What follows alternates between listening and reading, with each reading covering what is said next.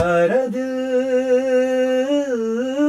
चोरी भो यति मात्र पर दिल चोरी भो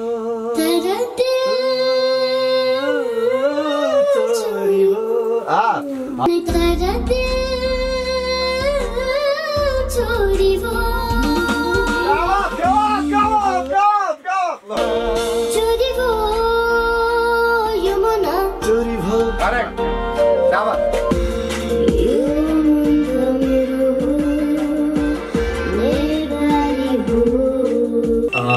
राइस किङज्यू लगायत अरू दुईजना हाम्रो विशेष अतिथिहरू हुनुहुन्छ आजको लागि र चोरी भोट टू रेकर्ड भइसकेको छ। यहाँहरू तिनैजनालाई धेरै धेरै स्वागत छ।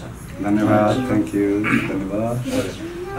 राइस किङज्यू जस्तो नानीले जुन तवरको तपाईँले एक्सपेक्ट गर्नुभएको थियो त्यही अनुसारको पर्फर्मेन्स गर्नुभयो कि भएन मैले सोचे भन्दा त झन् बेटर गर्नुभयो उहाँले। यस्तरी मिठो गाउनुभयो कि मेरो दिल चोरेर लानुभयो। गीत चोरी भयो नै छ। मेरो दिल मेरो मस्तिष्क मेरो हरेक चिज चोरेर लगिसक्नुभयो उहाँले।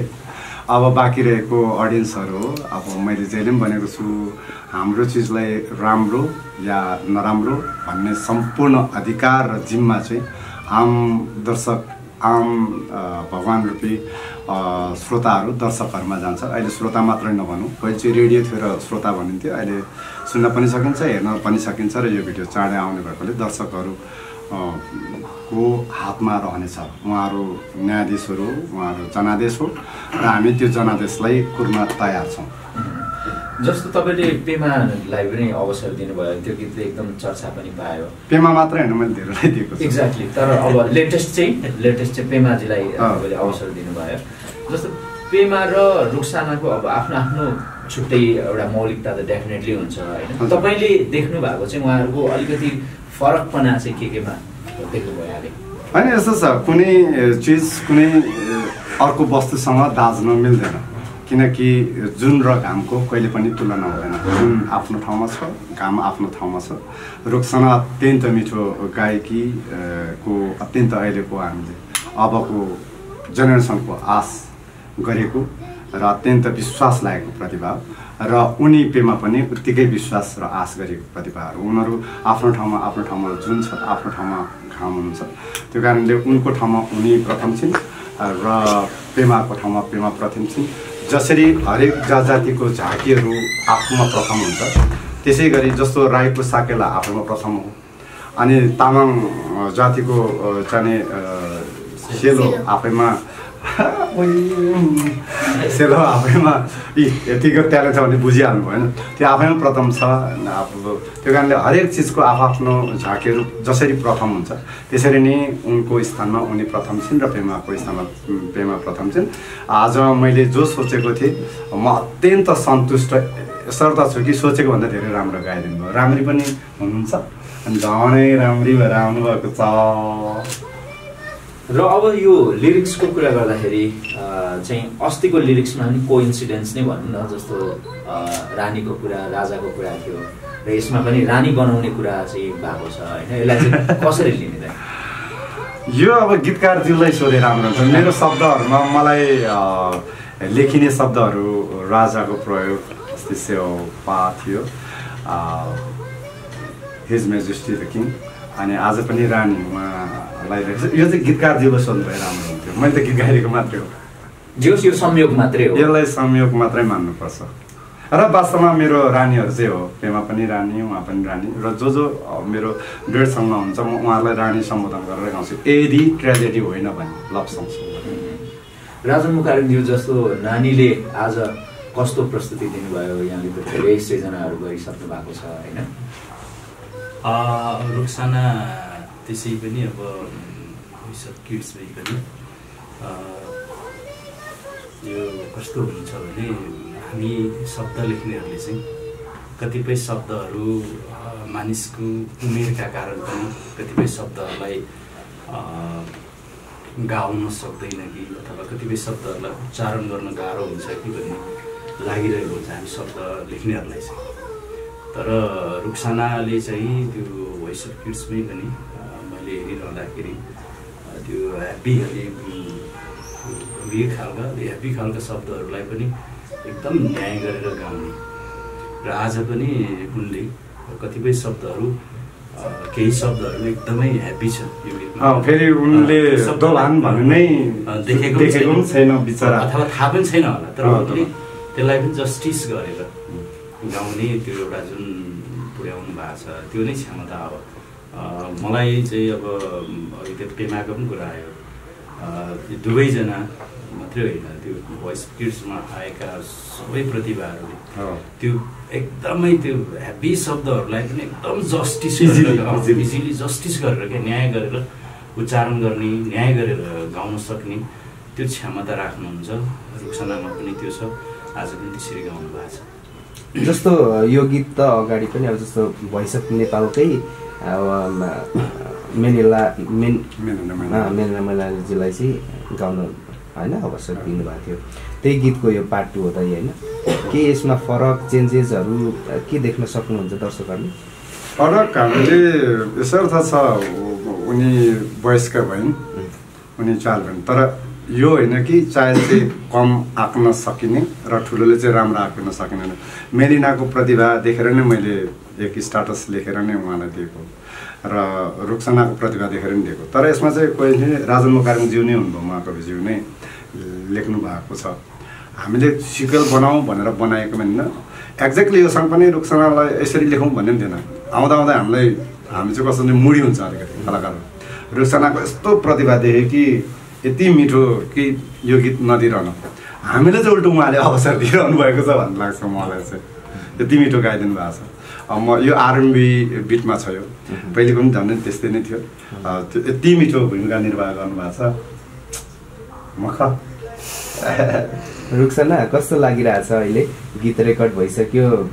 गीत रेकर्डको क्रममा दादाले चाहिँ एकदमै वाउ दामी भन्दै एकदमै तपाईँलाई एउटा हौसला दिइरहनु भएको थियो नि होइन? कस्तो लाग्यो रेकर्डिङको टाइमसम्ममा?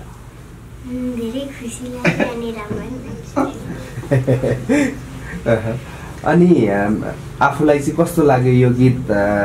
फाइनल्ली रेकर्ड सकिया छ नि त तपाईँको हिसाबले रुक्सनालाई हजुर। यो गीत यो गीत कस्तो लाग्यो हजुरलाई? राम्रो।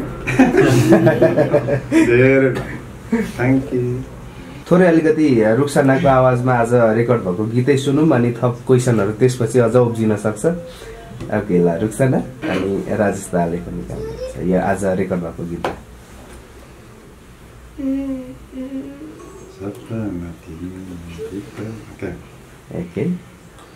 सपना तिमी नै विपना तिमी।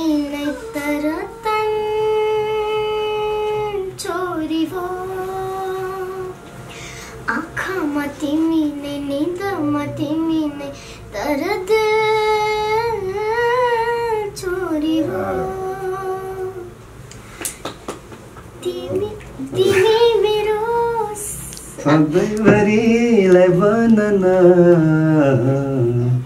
खोजिरहेछु तिमीलाई म रानी बनाउन। चरी भयो मन। चरी भयो मन। छोरी हो या रेकर्डिङको क्रममा दाले बिच बिचमा चक्लेट पनि खुवाइरहनु भएको थियो। त्यो आवाज अझ राम्रो आउने चक्लेट भन्ने सुनिरहेको थियो। कस्तो रहेछ चक्लेट रुक्सन? महँगो थियो। कस्तो थियो? मिठो। दा अलिकति बच्चाहरूसँग काम गर्दाखेरि छुट्टै तपाईँको जोस जागर होइन?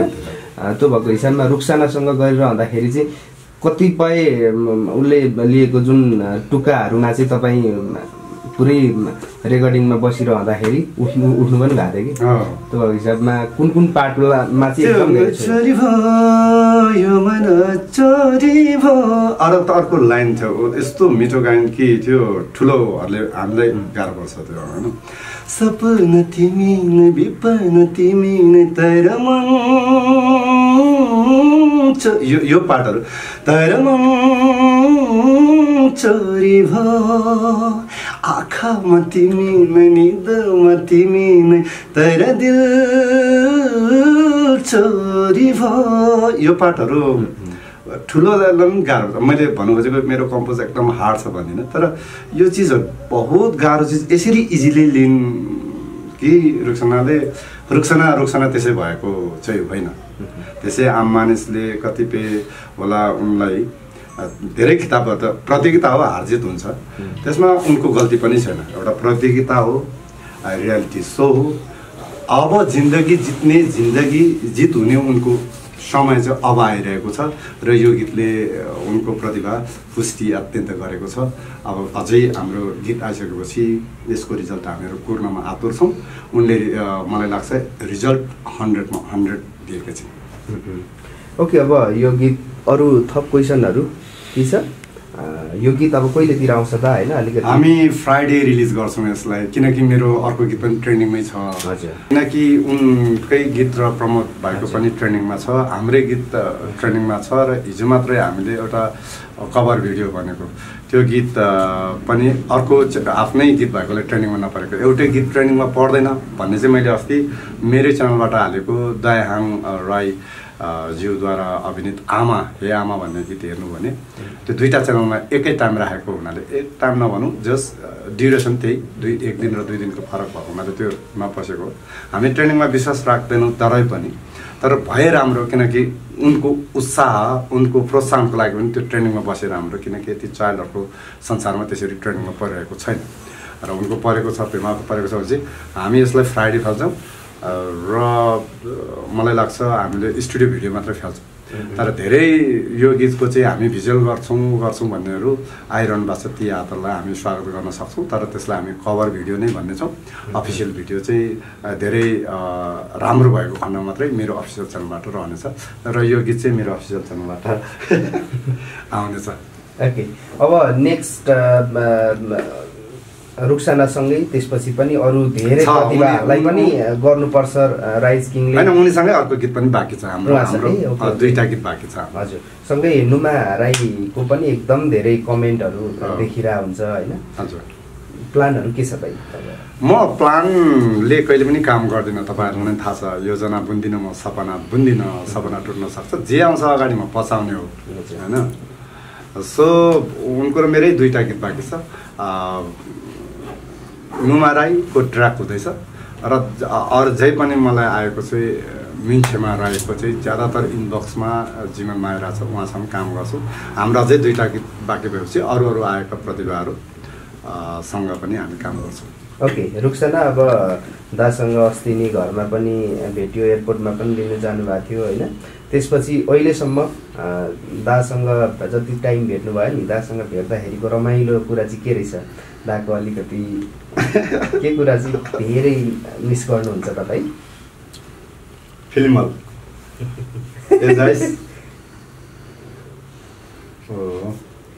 उहाँको घरको? हजुर घरदेखि लिएर सबै। सबै। हजुर। राइस किङलाई के कुराले चाहिँ धेरै मिस गर्नुहुन्छ अब? स्वर हो कि? फ्रेन्डली हो कि? सबै। सबै भनेपछि पुगीको दादा पनि मै होइन? राजु पनि मै। सब चक्लेट चाहिँ मिस गर्दा मलाई थाहा छ। त्यो अमेरिकाको चक्लेट थियो नि त। ओके ओके अन्तिममा छु। राजन दाईको पनि केही कुराहरू भयो त्यो। अँ, त मेरो त्यस्तो धेरै कुरा छैन। अब अब हामी चाहिँ विशेष गरेर महागायकज्यूसँग धेरै जोडिन्छौँ यस्तो कुराहरू। यसका चाहिँ दुई तिनवटा कारण छन् एउटा चाहिँ दुवैको त्यो सोच्ने तरिका? सोच्ने तरिका भनेको चाहिँ त्यो चाहिँ अब ज्ञान बुद्धि विवेक अथवा चेतना होइन सबभन्दा ठुलो कुरा त मानिसको चेतनाको कुरा हो।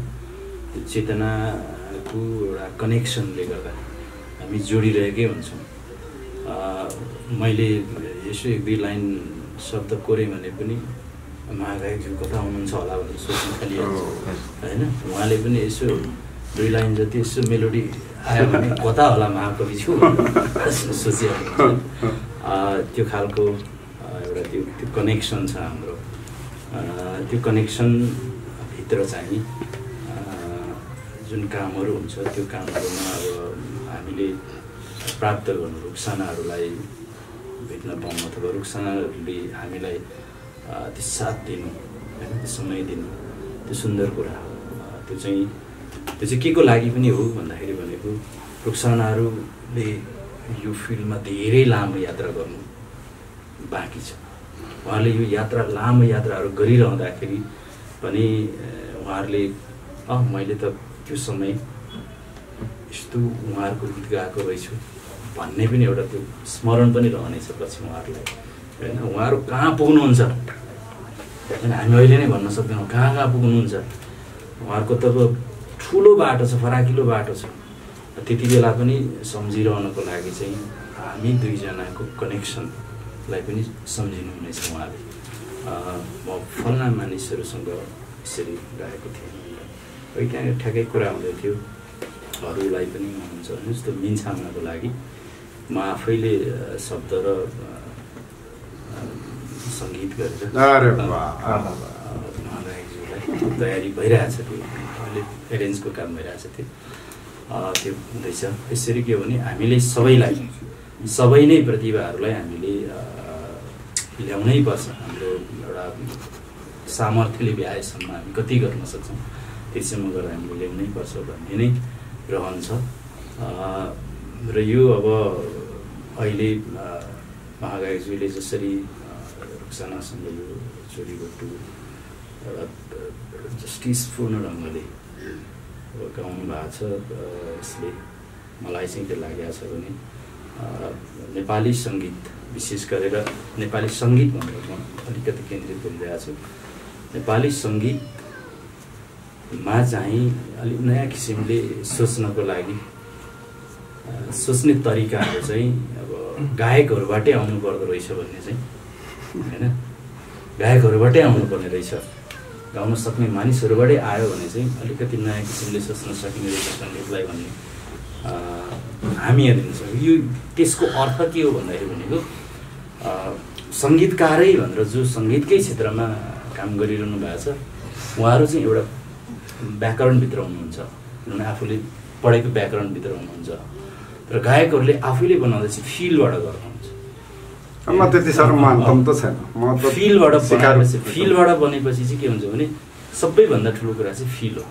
होइन? फिलबाटै आउने कुराहरू हो। त्यही काम भएको छ एउटा सुन्दर काम भएको छ। मैले त अब आम हाम्रो अब दर्शक श्रोताहरू नै हो। उहाँहरूले खुट्याइहाल्नुहुन्छ हामीले भनिरहनै पर्ने खास खुट्याइहाल्नुहुन्छ त्यस पछाडि के गर्नुपर्ने रहेछ पनि कमेन्ट आइहाल्छ अनि हामी स्वीकार्छौँ हामी स्वीकार्छौँ स्वीकारिहाल्छौँ। स्वीकार हामी एकदमै स्वीकार्य छ राम्रो भने पनि नराम्रो भने पनि त्यही मैले भने पनि त्यो अधिकार सिर्फ आम दर्शकहरूमा जनादेश उहाँहरू नै हामीले काम गरेका छौँ प्रयास गरेका छौँ उनले अत्यन्त ठुलो प्रयासको अत्यन्त ठुलो प्रयास गरेको छ र सुन्दर गाएको छ त्यो सुन्दर गायनलाई तपाईँहरूले आफ्नो सङ्गीत ठाने दिनुहुनेछ भन्ने मात्र विश्वस्त छौँ नै छौँ। ओके अन्तिममा अब चोरी भोटुको बारेमा केही छ? रुखसानाको भन्नुपर्ने? चाँडै आउँदैछ त चाँडै आउँदैछ शुक्रबार आउँदैछ भन्नु पऱ्यो होला नि त है। वान टू थ्री फ्राइडे साढे पाँच बजे। यही फ्राइडे या दिस फ्राइडे ए यही फ्राइडे चाहिँ हाम्रो चोरी भो Two. टु आउँदैछ र हजुरहरूले चाहिँ सुनिदिनु होला माया गरिदिनु होला यति भन्नुहोस् त thank you. So much thank you thank you